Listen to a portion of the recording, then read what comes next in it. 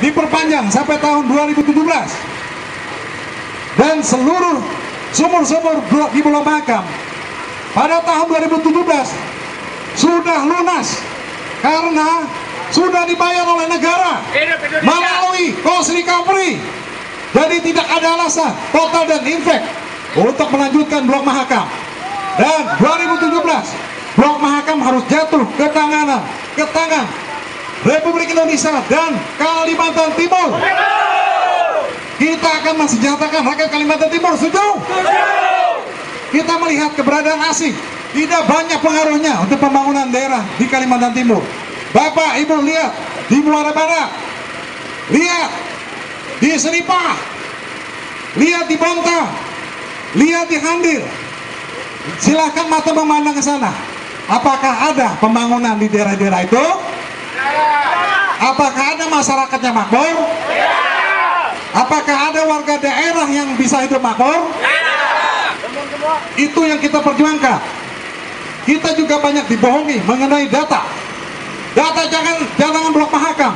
Masih ada tersimpan 25 triliun kaki kubik. Bisa kita kelola sampai 50 tahun akan datang. Kita akan bangun Kalimantan Timur. Kita akan sejahterakan masyarakat Kalimantan Timur kita tidak akan pernah akan dijajah asing kita tidak mau akan dijajah asing kita tidak akan mau dijajah asing lagi sudah hidup Indonesia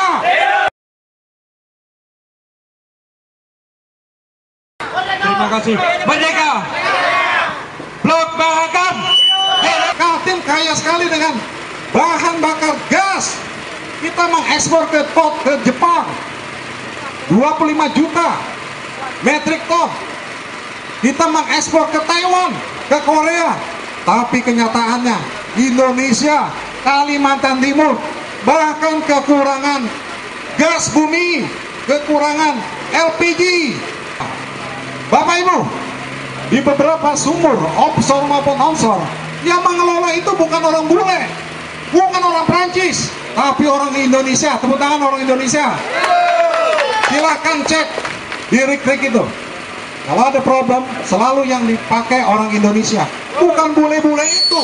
Bule-bule itu ada nongkrong di, di, di, di papak, di balik papan. Di Jakarta. Mereka menikmati gaji dengan cost of living. Dia hidup Prancis. Sementara gaji karyawan total pakai Indonesia. Ini sangat jauh sekali, rentan sekali, gap yang luar biasa. Pada mereka apa? Mereka orang-orang bodoh juga. Begitu ada masalah di rig, ada masalah di sumur-sumur, yang dipanggil pakai helikopter adalah ahli-ahli dari Indonesia.